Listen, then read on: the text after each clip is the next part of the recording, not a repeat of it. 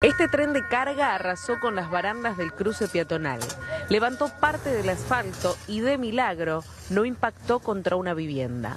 El tren venía avanzando y se descarriló. Al parecer por un tronco que habían arrojado las vías a metros antes del paso a nivel de calle Felipe Moré y Boulevard Seguí. Entró con la criatura, pero estábamos sentados acá porque yo estaba lavando ropa, así que ¿Y iba escuchaste? a ser pero si se caía. Sí, sí, escuché al hombre, lo escuché, por eso lo llaman nene, que vaya adentro. Siempre es el miedo constante de tener en- con el tren en- por los chicos, más yo tengo un nene de 5 años y él está todo el tiempo Jugando acá. jugando y ¿Y no bajan la velocidad cuando pasan por esta zona urbana? no.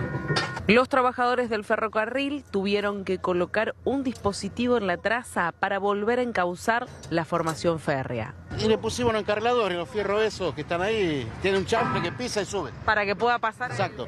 Ahora, ¿qué pasó? ¿Qué, qué fue lo que lo descargó? Re- Ni recién venimos nosotros, estábamos en otro lado trabajando y ¿Ustedes en general cómo ven las vías también? había otro espectáculo. Es la misma gente, la misma mugre que tira que hace saltar el tren. Los de la zona aseguran que las vías se mantienen limpias, pero a la vista se las ve hundidas en la tierra y con restos de residuos a lo largo del camino. Dice tronco, ¿viste? ¿Un tronco de qué tamaño? ¿Pero un tronco de árbol o una No, ramita? no, no sé, porque dijeron un tronco, ¿viste? Pero no vi yo, así que no tengo idea. ¿Y se escuchó el momento que el tren pasó? Sí, sí, se escuchó el ruido que hizo cuando se frenó de golpe. Así que sí. Y yo vivo más para allá y se escuchó. ¿Cómo ves las vías en general? Nosotros estamos viendo y están como bastante hundidas en, el- en la tierra.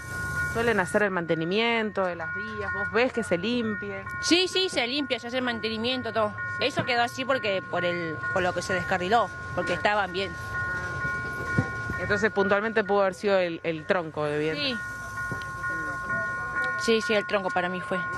Sin medir las consecuencias de lo que podrían haber ocasionado, ¿no? Porque, o sea, pones un tronco y se descarrila un tren, tenés las casas.